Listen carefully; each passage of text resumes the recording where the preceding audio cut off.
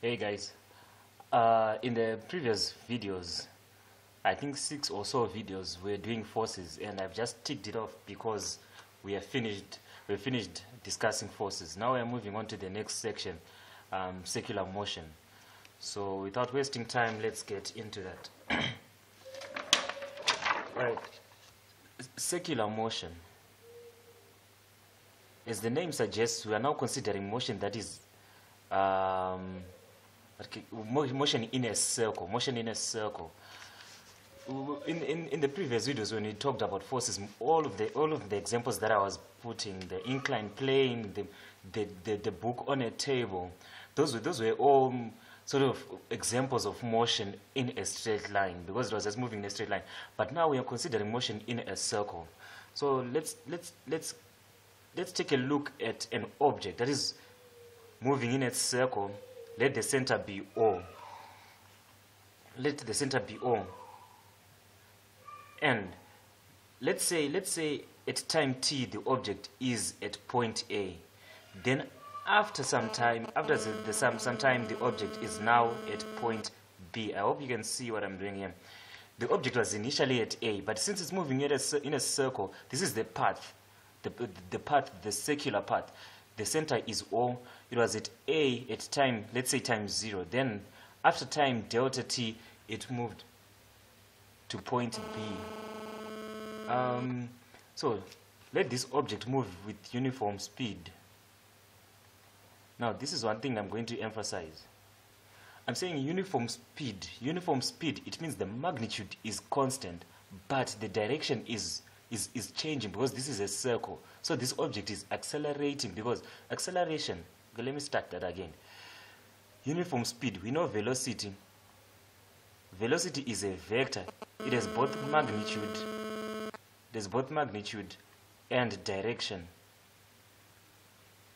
Whenever velocity changes, we know there is acceleration, isn't it? Whenever velocity changes, there is acceleration. So if any one of these factors that make up velocity changes, then there is acceleration, right? Here I'm considering an object that is moving around in a circle at uniform speed, which means this magnitude is constant. This is equal to constant. But the direction is changing because obviously in a circle the direction has to change. Here it was due east and here it is now sort of like northeast. At this point here it will be due north, at this point due west. So the direction is ever changing. So since one of the factors is changing, velocity is also changing, which means there is acceleration. We're going to get into that when we talk about acceleration in, in, um, in circular motion. The first part that we want to discuss is angular velocity angular velocity. We're going to consider this or this this this path here that we that we thought about. So we are considering uniform uniform speed and the direction changing due to the what to the circu- circular motion around fixed point O. When the object moves from moves from A to B along the arc AB, can you see there's an arc AB? The object is going to move along this arc AB. The radius OA moves through an angle theta.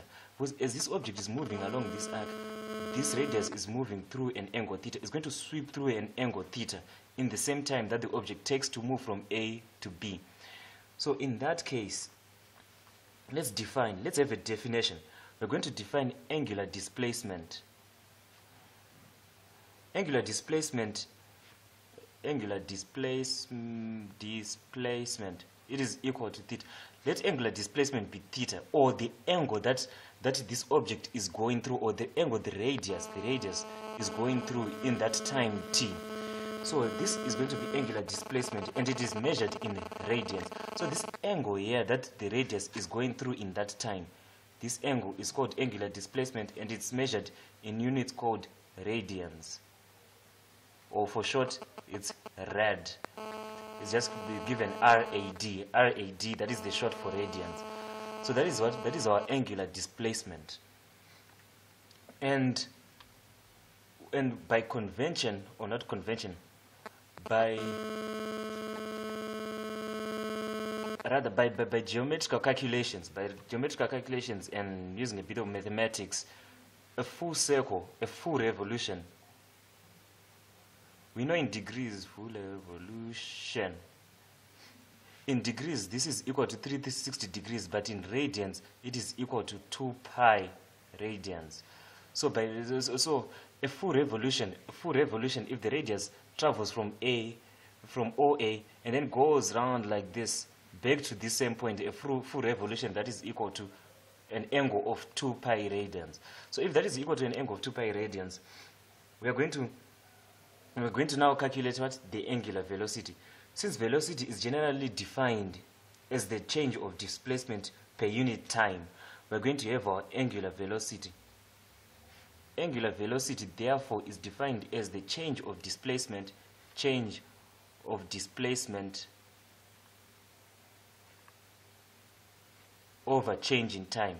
So change of displacement over change in time it gives us angular velocity. But the displacement that we're going to consider are not meters as in an object moving from point a to b on a straight line. If it was an, on a straight line we're going to we're going to say maybe 5 meters but we are not going to consider 5 meters because it's not a straight line. We're going to consider the angular displacement that we've just defined here. So the change in displacement will be equal to the change in displacement over the change in time. So angular velocity is equal to change in displacement over change in time. And angular velocity let me let me let me let me remove that part because it might get confusing. This is for a straight line so let's just let's just to explain the 5 meters okay angular display angular velocity is is uh, denoted by a letter a greek letter that looks like a w like this I think it's omega. It's a small, small letter omega, if I'm not mistaken. So angular velocity is equal to change of the angular displacement over time.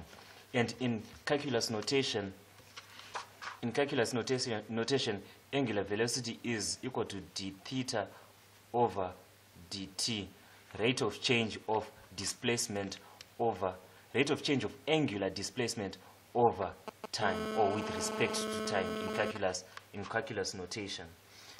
So, but for simplicity, for simplicity, we can just call this equal to theta over t.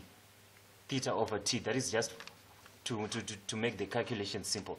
So our, so our angular velocity is equal to theta over t, or angular displacement over time. The units, when, when, we look at this, when you're doing a bit of dimensional analysis, when you look at this, this is measured in radians, this is measured in seconds. So angular velocity is measured in a in radians per second. That is the that is the the unit of, of angular velocity. For for a straight line velocity, the the, the, the, the units are meters per second. So let's see the other part now. That will that will be that will be talking about now. now. Mm. So now, now, now we are going to go uh, come across another definition.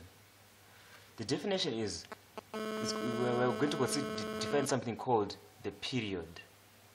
The period. You know, for, for, for this object that is going going round in a circle like this, it's going to take some time for it to come back to A. If it leaves A at time t equal to 0, it's going to take some time for it to come back to, to to that same point where it was to, to, to make a full revolution. Time t to describe the circle once, to describe the full circle once is known as the period.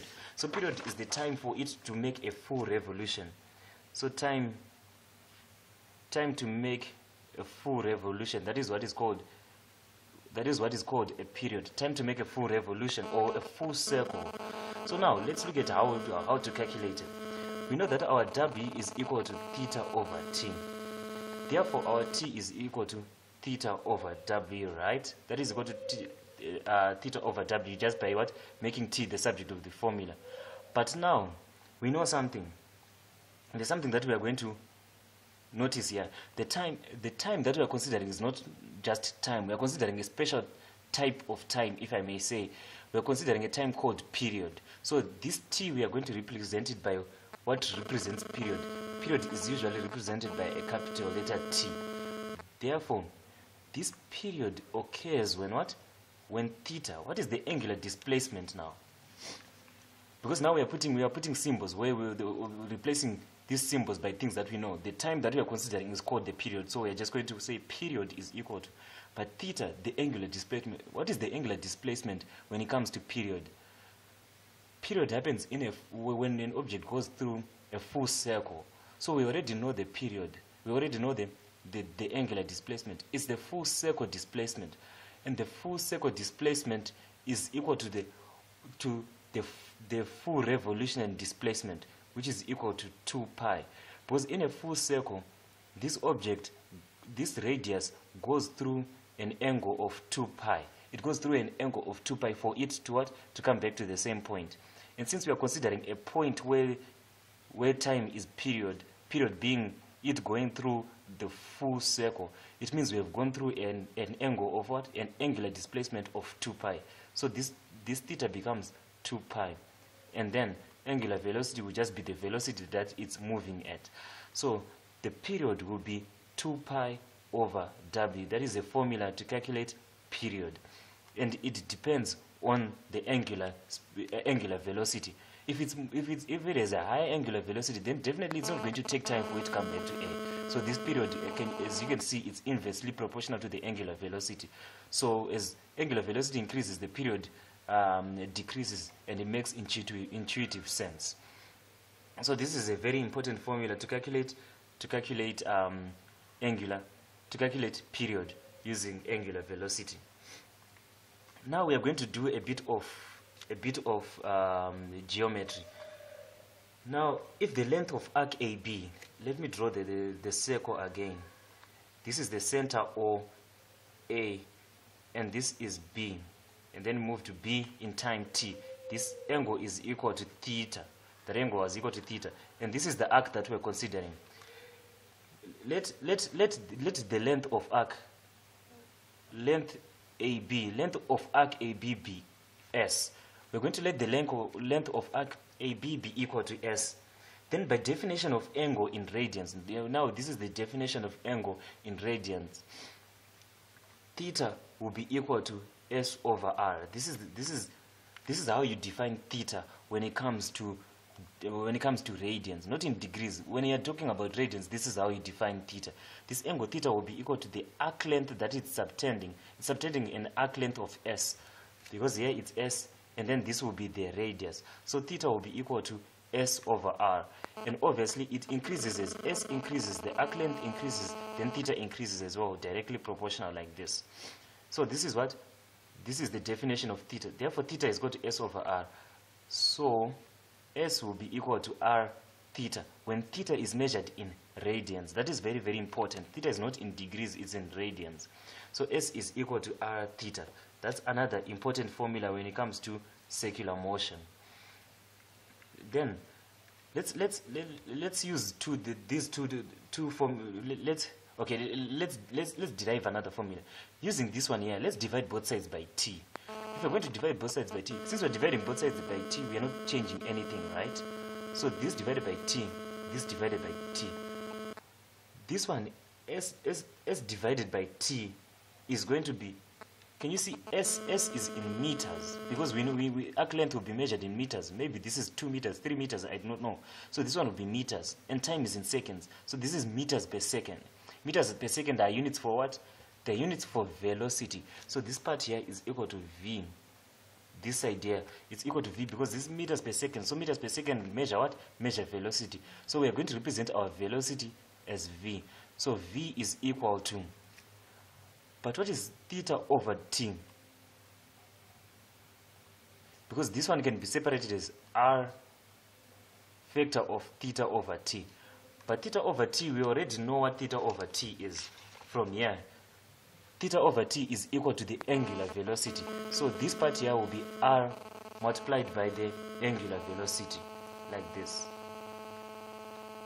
So that is the other that is the other formula that is that is important in in in circular motion. In I think these are the basic for what for angular velocity and velocity. These are very important formula that we that we will be that will be useful as we now as we go to the, to the examples not now but when we start our examples we'll be making use of these formulae plus the ones that we're going to add in the next video as we consider um, centripetal acceleration. So stay tuned for that one